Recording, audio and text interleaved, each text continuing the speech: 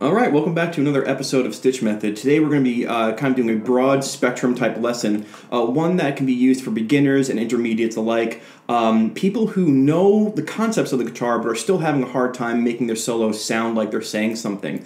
Um, and I get this question a lot. Now, this lesson here is influenced a lot by two of my students, uh, Dwayne and Brett. Uh, hello, guys, and you guys helped shape this lesson. Uh, it's it's a it's a question that I do get often, and I wanted to uh, present a solution, a possible solution to you about realizing that it's not necessarily. I mean, knowing your scales and knowing your chord tones and knowing everything we, we talk about on Stich Method or in any blues lesson, really. Um, that stuff's, those things are the concepts that we that we use to play the guitar but actually playing the guitar is part of the, is part of the uh, the experience. And so what we're going to do is we are going to use timing, timing, uh, a rhythm to say everything. And there is a very famous saying, which is "timing is everything," and this is no exception. So let's get right down to it. I have an E blues backing track, uh, 12 bar blues on my looper. E, right? And as this plays, I'll talk to you. There is what we call a downbeat, all right? And the downbeat is usually the quarter note, which is one beat, two, three, four, one, two, three, four,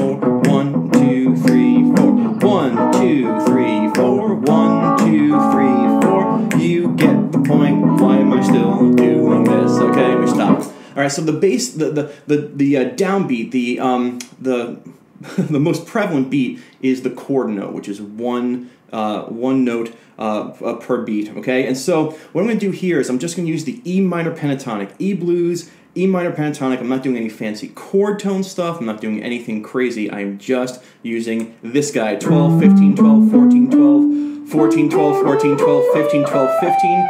Uh, if you're watching this and you're playing like blues piano or flute, uh, those notes E, G, A, B, and D over and over again. That's the E minor pentatonic. Now, what I'm going to do here is I'm just going to play the quarter notes. I'm really not going to care about the notes I hit just yet. This is about developing a new sense into your playing, you will come back to hitting the right notes at the right time and uh, everything. But listen to what it sounds like when I just hit the quarter notes and go through the pentatonic. Now, rule number one of a pentatonic that I always say is that it always sounds good. So don't worry too much about what you're hitting, just hit it on time. And so one, two, three, four, one, two, three, four.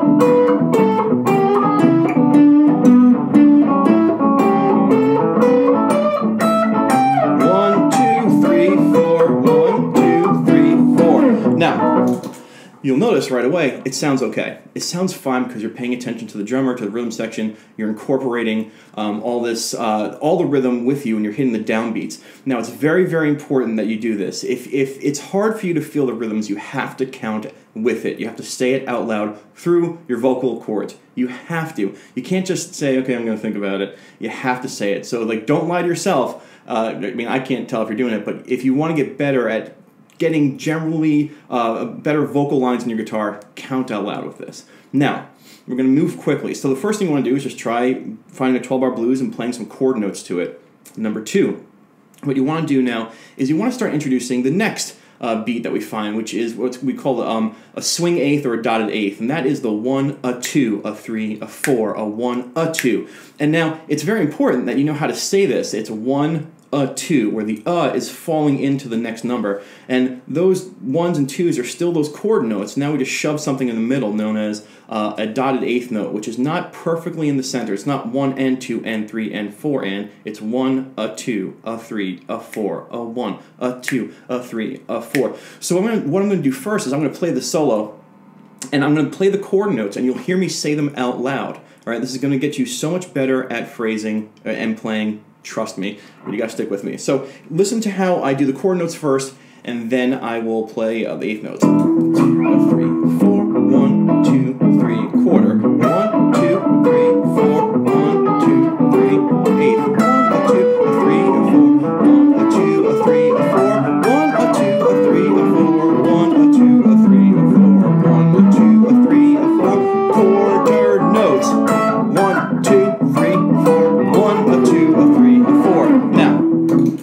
right now is to pause this video and mix and match those, just like I did at the end. Go one, two, three, a four, a one, a two, a three, four. Anything you can think of with those rhythms. Sorry, I turned into a robot right there.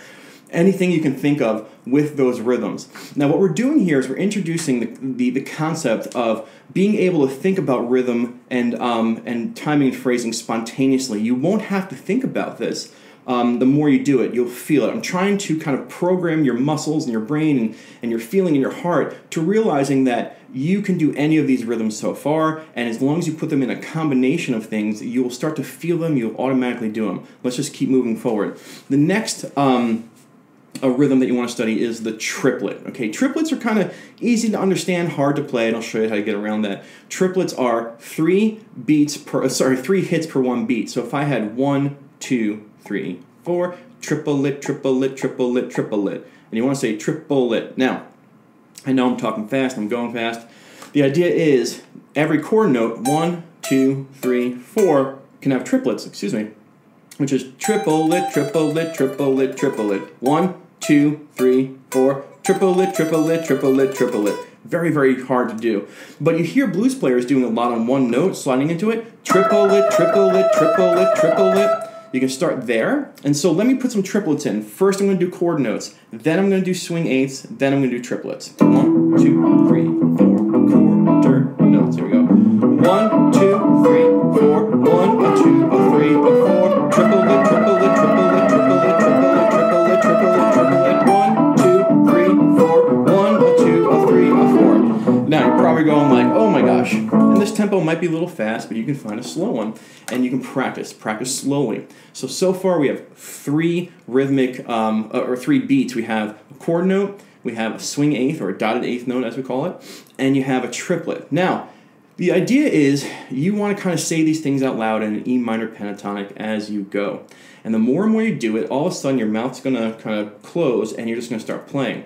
So what I'm going to do right now, we have more to discuss, is I'm going to play a very brief solo, just in my E minor pentatonic, nothing flashy. I'm not really paying attention to the chord tones or the ones of the ones or anything like that, or the fours and the fours. I'm just playing the pentatonic. I'm going to try and use these different rhythms to create some sort of movement in the soul that catch it, that catches your ear. Here we go.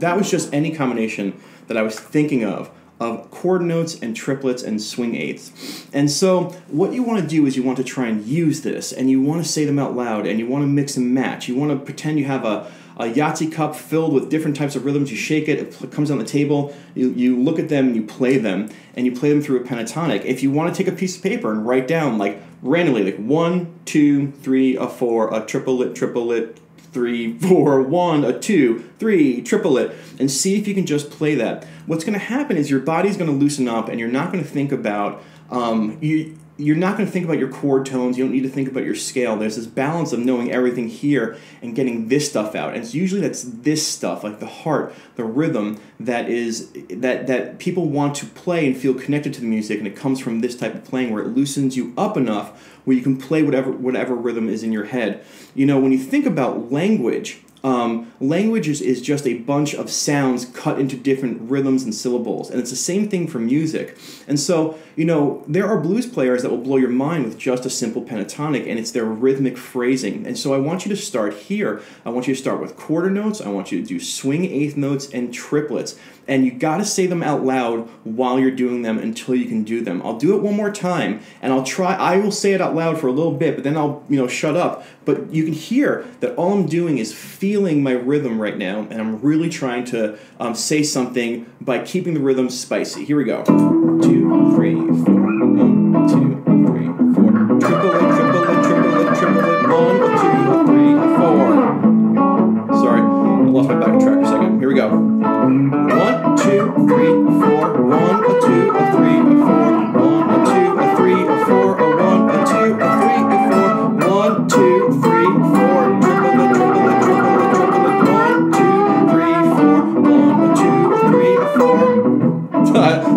backtrack's not loud enough. Here we go. Uh, he'll do one, two, three, four, triple it, triple it, triple it, triple it. One, two, three, four, one, a two, a three, a four. So now I'm going to be quiet so I can hear the back track, and you just listen for those combinations. Nothing more than me thinking about rhythms.